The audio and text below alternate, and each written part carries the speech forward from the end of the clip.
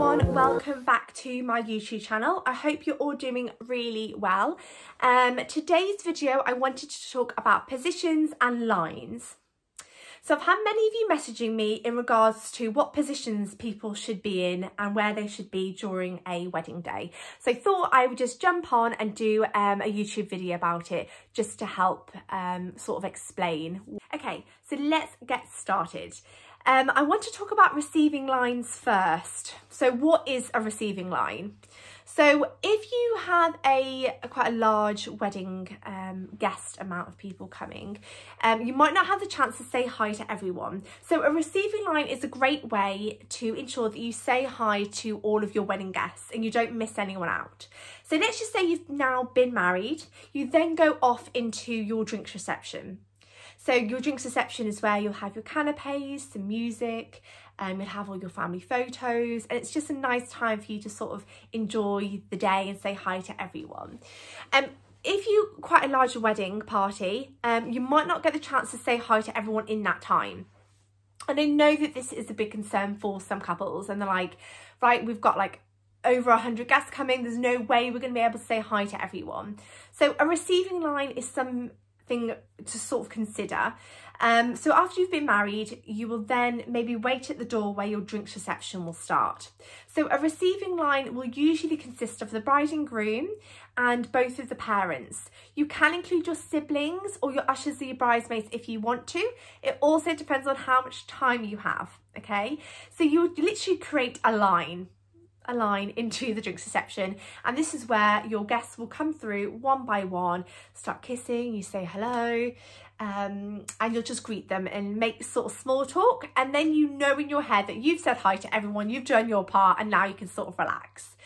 Um, guys this is quite time consuming okay? So if you're um a large wedding party of over 100 guests, I might not recommend this um, because it's going to take you at least half an hour um, and you've always got that one auntie and uncle who just wants to chat all the time. You've got this giant queue just forming um, to even get into the room. So maybe if your wedding guest numbers are slightly less, it's a really nice idea.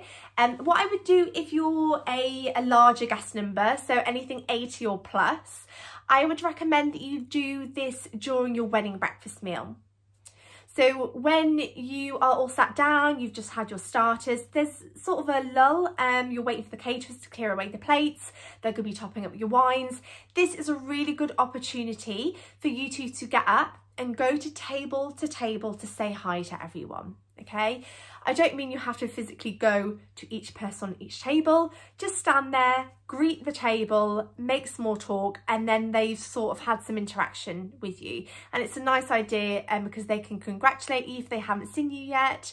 Um, and also it kind of keeps everyone entertained during that lull when um, they're waiting for the next course. And you can do this table by table. Um, and this kind of breaks it up a bit for you. So rather than doing the long receiving line, um, for half an hour we just stood there saying hi. It can get a bit tedious.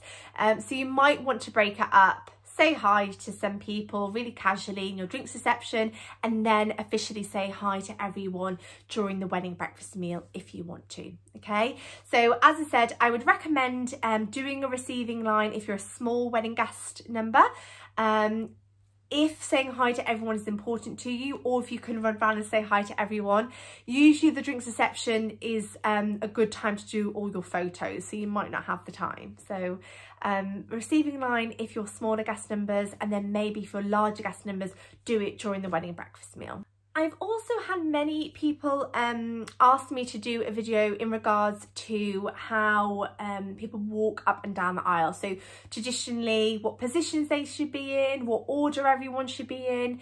Um, and the, the short answer is, guys, it's completely up to you, okay?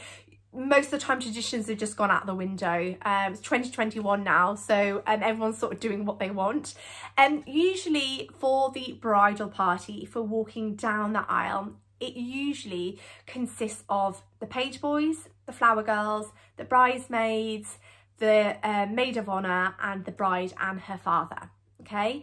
Um i've had a couple of mother of the bride say well i'd like to walk down the aisle. Again this is absolutely fine. So usually it's quite overwhelming walking into the ceremony space. Um, so what I'd recommend is if you have um, siblings, so a brother or an uncle or um, a nice sort of gentleman to walk your mum down the aisle so she's not walking down by herself. It's a really nice sort of way to kick off um, the sort of bridal party. So once everyone's seated, um, your mum's probably in the makeup room helping you get ready and saying her goodbyes and things. So it would be nice to have an usher or a, um, a male figure stood at the door just to, um, you know, guide your mum and so she doesn't have to walk in on her own. Um, it's just a polite thing to do. It also ensures that the registrars or the vicar, whoever's officiating the service, sort of know that you're there and you're on your way. Um, so once the mother of the bride is sort of in, it's like, right, okay, we're ready to rock and roll. So um, she doesn't come into music. It is just sort of casually, just kind of like swerves on in there. Um, so once she's in, um, it, it, will be then for the bridal party to start walking down the aisle. So um, there's two ways you could do this. So the English traditional way is that the bride and the dad go first, followed by the bridesmaids, the page boys and the flower girls, okay? I haven't done a wedding in a while where that's happened.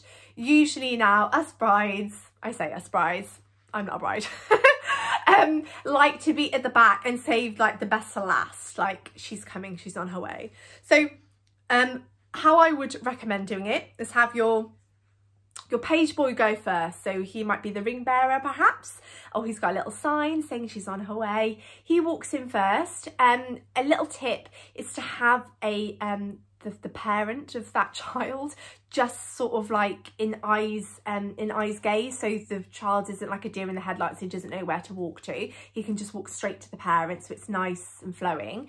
Um so you've got the page boy followed by the flower girl so if you've got a couple of lovely little small flower girls um put some petals out um great. And then after the flower girl you'll then have the bridesmaids. Again doesn't matter which bridesmaids goes first. If it was my wedding, I would personally maybe go in height order or um, age order. Um, it's completely up to you how you want to do it. And then the last bridesmaid to enter would be your maid of honour um, because they're usually like your sibling or a best friend that, you know, your go-to girl. And so you want her to be sort of with you behind the door, giving you all that prep talk before you, before you start heading on down. So once she goes, then you and your dad or a father figure can then start walking down the aisle. Once you've then been married, you will then have to start walking back up the aisle. So um, again, sometimes it's a free-for-all, you've just been married, everyone wants to go and get a drink. Um, but if you want to do it in a nice orderly fashion, then traditionally it'll be the groom and the bride who've just been married. They will then exit first, followed by, um, again, this is all if you want to do it. There you've got the ushers and the bridesmaids coming from two different points. They um, would usually partner up with each other, couple up and walk together. So you'd have your ushers on this side, bridesmaids, and they would walk arm in arm, sort of back towards the um back towards down the aisle. Um, and then the flower girls and the page boys would probably be with their parents. So I would have your ushers and your bridesmaids, followed by your both sets of parents, and then allow the rest of your immediate family, followed by um, friends to follow. Um, and that's sort of a nice way to get everyone outside ready to throw the confetti or have some photos outside as well. So I do hope that helps. Um, again, comment below if you've got any questions in regards if you've got a certain order um, that you've got and you just want to double check with me. Now, let's talk about positions on the top table, okay? Um, so traditionally, you'll have like a long top table or the official top table where the bride and groom will be sat for their wedding breakfast meal, okay? Loads of couples um, really worry about who should be sat on this table. Um, I honestly wouldn't worry about offending anyone, guys. It's your wedding day. Um, the last thing you want to do is sort of work yourself up in a frenzy that you haven't sat someone on your top table, okay? There's loads of ways you can do it. Um, traditionally, it would be the bride and groom sat in the centre of the top table and then you'll have the parents next to them as well. Um, sometimes people like to do, say if, if I'm the bride, for example, I would then have um, the groom's dad there or I might, my, my mum. You could do either side. So my uh, partner's parents on my side and then my parents on his side to sort of switch it round.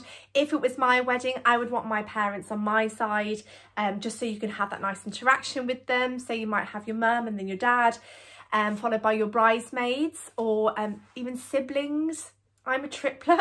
I don't know if anyone knew that. I'm a triplet, so um, I they would probably be my bridesmaids anyway. But if you're especially close to anyone in your family, you can put them on the top table as well. Um, so you would have your parents either side of you, followed by your maid of honour, followed by your ushers and your bridesmaids.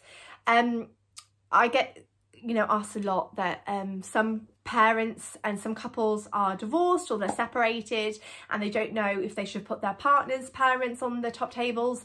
It's completely up to you. Every family is different. Um, there's some families who are like, no, I'm not speaking to them or they've just had a new partner so they don't really know them. And what I'd recommend doing, if your um, biological parents are happy to sit next to each other, then ask them to. It's only one day. Um, if they're, you know, amicable with each other and they're friendly and they'll chat, then have them on there and their partners can be on another table. Uh, separately, I would probably suggest. Um, but again, um, it's completely up to you if you want their pet, if their, their new partner's on there. It's all something you're going to have to speak to them um, about prior to the event. Um, but again, it's, you know, it doesn't have to not be that if you don't want it to be.